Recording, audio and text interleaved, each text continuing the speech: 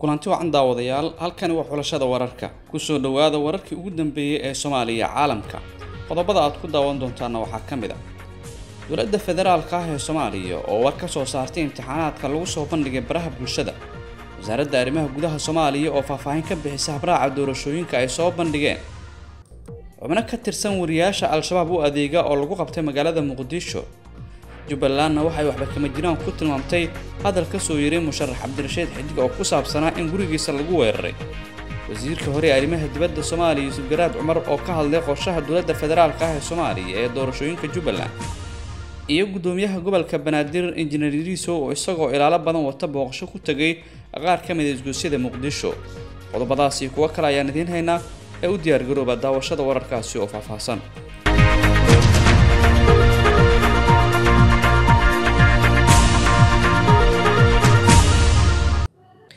mar kale kulan wacan daawadayaal. Fadlan haddii aad nagu cusub tahay sabscribe dheh janalkan si aad u hesho wararkii ugu dambeeyey ee soomaaliya caalamka. Dowladda federaalka ah ee soomaaliya ayaa war ka soo saartay imtixaanaadka lagu soo bandhigay baraha bulshada. Dowladda soomaaliya ayaa mar kale ka hadashay imtixaanaadka la soo bandhigay ee la wareejinayo baraha bulshada kuwaas oo la sheegay inay yihiin imtixaanaadka maanta ay gelayaan ardayda soomaaliyeed. Wasaaradda waxbarashada xukuumadda soomaaliya ayaa shaacisay inay gebi ahaanba jirin imtixaanaadkaasi la soo bandhigay islamarkaana ay yihiin kuwa la doonayo in lagu jahwareeriyo ardayda soomaaliyeed. Wasiiru dulaha wasaaradda waxbarashada soomaaliya cabdiraxmaan maxamuud jaabir ayaa shaaciyey in waxba uusan ka jirin muddooyinkan baraha bulshada waxyaabaha lagu faafinayay kuwaas oo lagu sheegay in laga helay magaalada gaalkacyo. Wasaaradda waxbarashada ayuu sheegay inay diyaargarow badan ka gashay mar kale inuu fashil ku yimaado imtixaanaadka sanadkan ay qaadayaan kaasi oo horey u fashilmay islamarkaana dib loogu celiyey in ka badan soddon kun oo arday wasiir duulaha wasaaradda waxbarashada soomaaliya cabdiraxmaan maxamuud jaabir ayaa digniin u jeediyey dad uu sheegay inay marin habaabinayn ardayda soomaaliyeed ee maanta gelaya imtixaanaadka. Kow iyo tobankii bishan ayaa muqdishoya qaar ka mid a gobollada dalka waxaa ka bilowday imtixaanaadka dowladda hase yeeshee markii dambe baraha bulshada lagu arkay maadooyin ka mid a imtixaanaadka taasi oo keentay in wasaaraddu ay baabi'iso islamarkaana maanta markale la galo in ka badan soddon kun oo arday ayaa la filayaa inay maanta u fadhiistaan imtixaanaadka shahaadiga ah ee dugsiga sare iyada oo muqdisho iyo gobollada dalka si weyn looga diyaargaroobay wasaaradda arrimaha gudaha xukuumadda federaalka ah ee soomaaliya ayaa faahfaahin ka bixisay habraaca doorashooyinka ay soo bandhigeen wasiirka arrimaha gudaha xukuumadda soomaaliya cabdi maxamed sabriye ayaa faahfaahin dheeraada ka bixiyey habraaca doorashooyinka maamul goboleedyada ay soo saartay wasaaradda arrimaha gudaha. Habraaca doorashooyinka ee la soo saaray ama ay soo saartay wasaaradda arrimaha gudaha waxaa durba ka hor yimid qaar ka mid a maamul goboleedyada kuwaasi oo sheegay inaysan wasaaradda arrimaha gudaha aysan shaqo ku lahayn habraaca doorashooyinka. Cabdi maxamed sabriye wasiirka arrimaha gudaha ayaa sheegay in habraacan doorashooyinka ay soo wada bandhigeen uu yahay mid horey loogu shaqaynayay waxaana uu tilmaamay in keliya hadda bulshada ay u soo bandhigeen. Waxa uu sheegay wasiirka arrimaha gudaha soomaaliya inay diyaar u yihiin inay la fariistaan kana qanciyaan cid kasta oo cabasho ka qabta habraaca doorashooyinka ay soo saartay wasaaradda arrimaha gudaha soomaaliya. Hadalka wasiirka ayaa ku soo aaday xilli qaar ka mid a maamul goboleedyada dalka ay ka soo horjeesteen. Habraaca doorashooyinka ay shalay soo bandhigtay wasaaradda arrimaha gudaha soomaaliya. Wax cusub oo aan soo saarnay ma jiraan. Waxaan go'aansanay uun inaan soo dhigno shacabka hortiisa. Sistamkii awalba lagu dhaqmayey ma jiro runtii hal qodob. Allaha ka dhigay toddobiiyo labaatanka qodob ee aan soo bandhignay. Qodobka cusub ayuu yidhi wasiir sabriye. Xubno ka tirsan warbaahinta al-shabaab ayaa la sheegayaa in lagu qabtay magaalada muqdisho. Ciidamada ammaanka dowladda soomaaliya ayaa baaritaano ka wada xaafadaha kala duwan ee magaalada muqdisho waxaana baaritaanadaas lagu qabtay xubno ka tirsan al-shabaab sida mas'uuliyiinta ammaanku ay sheegeen. Gudoomiyaha gobolka banaadir ahna duqa magaalada muqdisho ayaa shaaciyey in baaritaanka ciidamada ammaanka ay sameeyeen xaafado ka mid a degmada kaxda ay ku soo qabteen. Laba ruux oo la shaqaynayay warbaahinta al-shabaab. Gudoomiyariisu ma uusan sheegin magacyada labadaasi ruux uu sheegay inay ka tirsan yihiin al-shabaab laakiin waxa uu tilmaamay in laga qabtay masaajid ku yaalla degmada kaxda kadib markii laamaha ammaanka ay xog ka heleen shacabka degmada waxa uu sidoo kale sheegay inay booqasho ku tageen xarunta ciidamada booliska ee laga hago nambarada gaaban ee oo loo diyaariyey in shacabka ay kala xiriiraan ciidamada booliska caawa mar aan booqday xarunta ee booliska waxaan ku faraxsanahay warbixinno ay shacabka soo gudbiyeen oo lagu howlgelayay in lagu soo qabtay nabadiid fara badan oo shacabku waxyeello u geysan lahaa. Laba dhagar qabe oo masaajid kaxda jiifanayay oo idaacadda andalus u shaqaynayay laga soo qabtay halkaas ayuu yidhi guddoomiye riisow oo qoraalkiisa soo dhigay barta uu ku leeyahay facebook. Laamaha ammaanka dowladda soomaaliya ayaa maalmihii ugu dambeeyey baaritaanada dheeriah ka sameynayay xaafadaha kala duwan ee degmooyinka gobolka banaadir. Maamulka jubbalandna waxaa waxba kama jiraan ku tilmaamay hadal ka soo yiray musharax cabdirashiid xidig.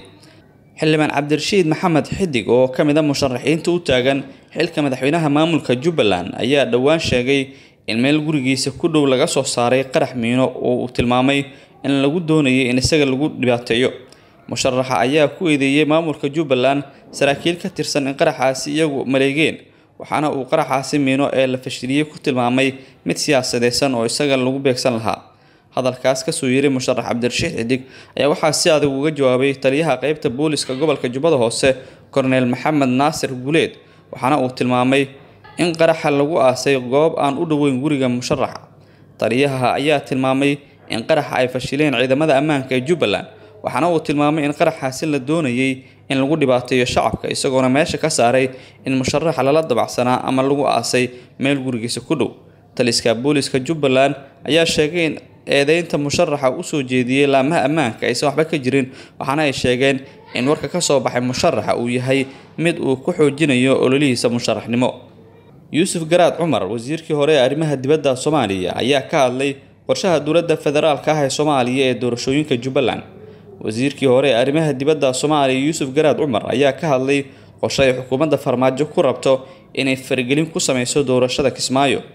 Yuusuf garaad ayaa waxa uu sheegay in khilaafka ka taagan doorashada kismaayo uu sare u kacay isagoona sheegay haddii aan xaqiiqda la garowsan inuu sare u sii kici doono garaad ayaa dowladda federaalka ugu baaqay inay si isku mid ah ula dhaqanto maamul goboleedyada marka ay doorashooyinka ku qabsoomayaan isagoona xusay in laga waantoobo inay dib u dhacdo wixii hore uga dhacay doorashadii baydhabo.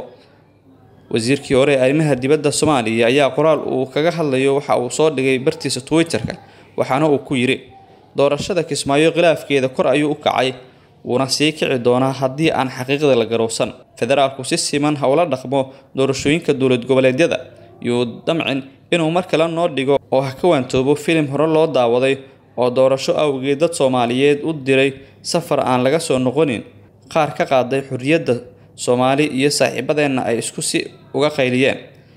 Kismaayo iyada oo maanka ku haysa sida uu dowlad goboleedku ku dhismay iyo cabashada beelaha deegaanka iyo musharaxiinta qaar waxaa ugu yar ee laga aqbali karaa waa inay inta wada joogto loo cadaalad falo oo doorasho lagu qanci karo ay dhacdo kismaayo ma ahan in dhiig dambe ku daato. Dadka xamaasadaysan ee xoog soomaaliyeed iyo ama mid shisheeye isku haleynaya waxaan xusuusinayaa in xoogga looga baahi badan yahay uu yahay mid gobolka lagu nabadeynayo oo ajnabi looga maarmo. Ugu dambeyntiina gudoomiyaha gobolka banaadir ayaa isagoo ilaalo badan wata booqasho ku tegay qaar ka mid a isgoysyada magaalada muqdisho. Gudoomiyaha gobolka banaadir ahna duqa magaalada muqdisho cabdiraxmaan cumar cismaan ayaa dhallinyarada ku nool caasimada ku bogaadiyey sida wanaagsan ay ula shaqeeyeen ciidamada amniga ka shaqeeya. Gudoomiyaha oo xalay booqasho ku tegay qaar ka mid a isgoysyada ugu muhiimsan magaalada muqdisho ayaa soo arkay howlgallo ay wadeen ciidanka amniga waxaana uu halkaasi kula kulmay dhallinyaro soomaaliyeed oo ku caweynayay waddooyinka kana wareystay xaaladooda iyo sida uu yahay ammaanka degmada. Dhallinyarada caasimada oo aan caawa la sheekaystay waxa ay ugu farxad geliyeen sida ay u jecel yihiin madaxdooda iyo sida ay gacanta ugu siinayaan ciidamada amniga. Mudane cabdiraxmaan cumar cismaan ayaa ku adkeeyey bulshada ku nool muqdisho inay sii xoojiyaan la shaqaynta hay'adaha ammaanka maadaama ay u shaqaynayaan sidii ay cadowga banaystay dhiigga shacabka looga hortegi lahaa.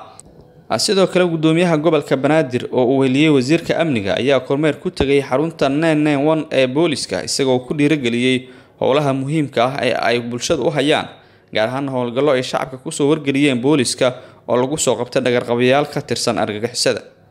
Duqa muqdisho ayaa sheegay in maamulkiisu ahmiyad gaar ah siiyey isku xidhka shacabka iyo ciidanka iyadoo qeyb weyn ay ka qaadatay barnaamijka dariseynta ee bulshada isku xiray.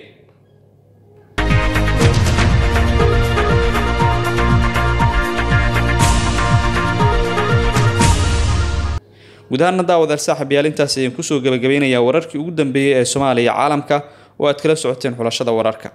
Inta warkan kiisi xiga aanu ku kulmi doonno dhammaanteen waxaanu idinkaga tegaynaa sidaasi nabadgelyo.